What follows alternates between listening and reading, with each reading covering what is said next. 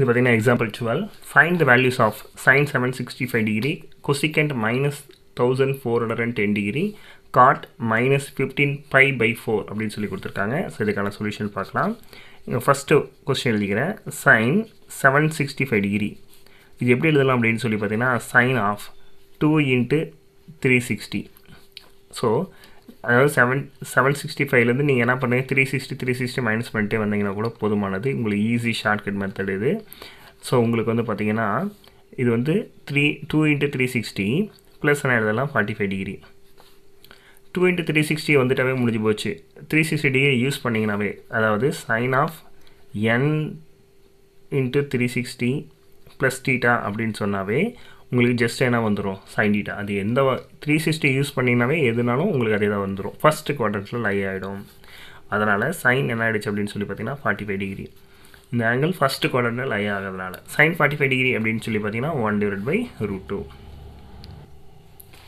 அதுக்கடுத்து பார்த்தீங்க அப்படின்னு சொன்னால் cosecant minus one four one zero degree so இப்போ my cosecant minus one four one zero அப்படின்னு சொல்லி பார்த்தீங்கன்னா இது வந்து டெஃபினட்டாக வந்து மைனஸ் கொசிகண்டுக்குள்ளே மைனஸ் இருந்தால் மைனஸ் வெளியே எடுத்துடுங்க. Super cosecant one four one zero so இது வந்து பார்த்திங்கன்னா ஒன் ஃபோர் ஒன் ஜீரோவை அப்படி நீங்கள் செவன் டுவெண்ட்டியெல்லாம் இது பண்ணிக்கோங்க.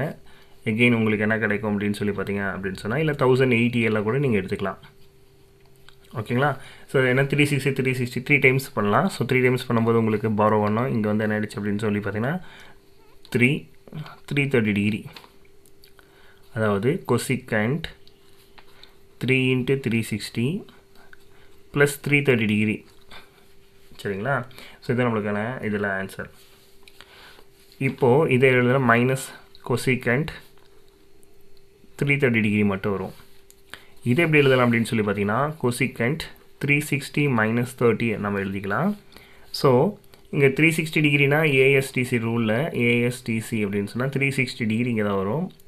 இங்கே வரும்போது மைனஸ் பண்ணிங்கன்னா உங்களுக்கு காஸ்ட் வந்துடும் ஸோ காசில் சீக்கெண்ட் வந்தால் மட்டும்தான். ஃபோர்த்து குவாட்ரண்ட்டில் காசு சீக்கண்ட் வந்தால் மட்டும்தான் ப்ளஸ்ஸு இங்கே கொசிக்கன் வந்தாலும் மைனஸ் வரும் ஆல்ரெடி இங்கே ஒரு மைனஸ்னால ப்ளஸ் ஆகிடும் ஸோ இது cosec plus cosecant thirty degree ஆகிடும் ஸோ கொசிக்கன் தேர்ட்டி டிகிரி அப்படின்னா கொசிக்கன் என்ன ரெசிப்ரோக்கல் சைனுடைய ரெசிப்ரோக்கல் சரிங்களா? அதனால் sign thirty டிகிரினா one by two cosecant thirty degree அப்படின்னா சொன்னால் just two and third one cot minus fifteen pi divide by four so இது எப்படி எழுதலாம் பாருங்கள் மைனஸ் வெளியே வந்துடும் because of cot odd function fifteen pi divide by four இது எப்படி எழுதலாம் பாருங்கள் minus cot four pi minus pi by four எழுதலாம்.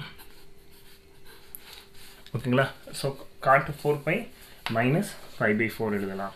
இந்த cot four five minus five pi ஃபோரை நம்ம எப்படி எழுதலாம்னா two pi minus five pi by எழுதிக்கலாம். ஏன்னா நம்மளுக்கு வந்து கம்ப்ளீட் டிகிரி இல்லையா? ஸோ த்ரீ சிக்ஸ்டி இது ஒரு டூ பை அகெயின் இது வந்து பார்த்தீங்கன்னாக்க ஃபோர் பை ஸோ நம்ம என்ன பண்ணி டூ பையில் ஃபார்முலா இருக்கிறதுனால ஃபோர் பை டூ பைக்கு கன்வெர்ட் பண்ணிட்டேன். Two பைன்றது nothing but three sixty degree so three sixty minus theta three sixty minus டீட்டானா எந்த குவாட்ரண்ட்டில் இருக்கும்னா ஃபோர்த் குவாட்ரண்ட்டில் ஆகும். ஸோ ஃபோர்த் குவாட்ரண்ட்டில் பார்த்தீங்கன்னா நம்மளுக்கு வந்து காசும் சீக்கிரம் வந்தால் தான் ப்ளஸ்ஸு நம்மளுக்கு வந்துங்கிறதோ காட்டு. அதனால் என்ன ஆகும் அப்படின்னு சொல்லி பார்த்தீங்கன்னா ஒரு மைனஸ் சைன் வெளியே வரும். ஆல்ரெடி ஒரு மைனஸ் சைன் இருக்கிறதுனால இந்த மைனஸ் இந்த மைனஸ் சேர்ந்து ப்ளஸ் ஆகிடும் இப்போ த்ரீ சிக்ஸ்டி விட்டால் மீதி God five pi four God five pi ஃபோருக்கு வேல்யூ என்னென்னு பார்த்தீங்கன்னா ஒன் ஓகே